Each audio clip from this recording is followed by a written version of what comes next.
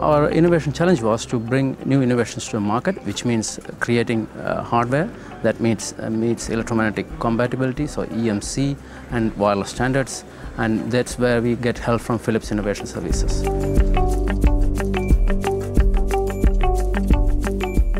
So last five to 10 years, we worked a lot together with Philips Innovation Services on electromagnetic compatibility topics and also wireless connectivity. So that uh, helped us in, in, in, many projects to give you a few flagship projects, for example, CityTouch uh, Lightwave and the Deloitte project in Amsterdam. So there you see a lot of products from coming from our department and how they helped in uh, designing the antenna and validating those products against standards. And also there are a few experts in uh, Philips Innovation Service. They uh, give us direction on, on upcoming standards and based on that uh, standards, the right requirements to validate against.